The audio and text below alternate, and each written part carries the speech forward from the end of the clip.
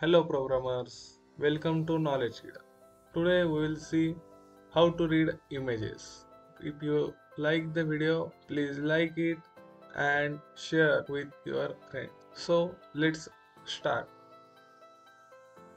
Before that we will see which images it reads. So I listed down here images having extensions. These are read by OpenCV like BMP image, JPG image, PNG image, TIFF image like this. So today we will create one another file for uh, reading images.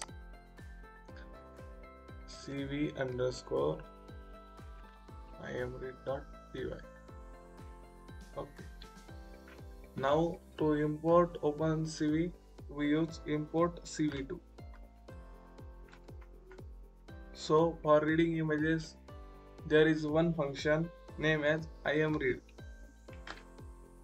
In that function, we give image path and which type of image we need means grayscale or RGB like that. So for next line, we create one variable img is equal to cv2 dot we'll call imread function.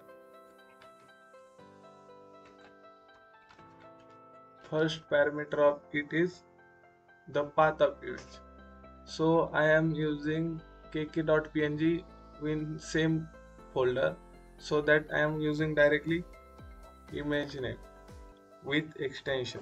And next we will give 1 to see in original colors rbg hmm. if we give 0 then it will show a grayscale now using that function we are reading the image Next, we use cv2 dot imshow. Using that, we can display that image. In that first parameter, we will give the tab name. So I am giving tab name as knowledge kida.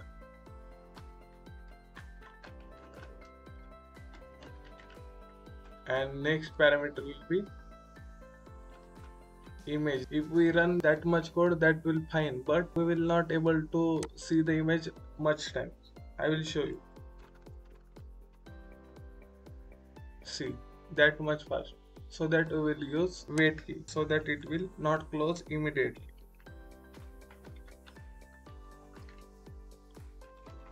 I am giving that much time. Now we will run.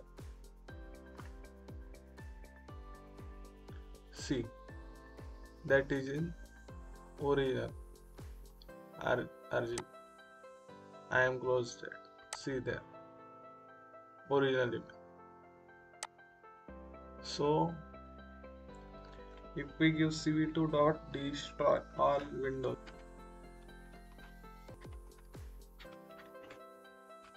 and then we will run see same and if we click we click any key it will close. Like that this destroy all windows function works. See the knowledge kida this is tab name. Here it is displaying now i will show in the same image in grayscale. Now we will run.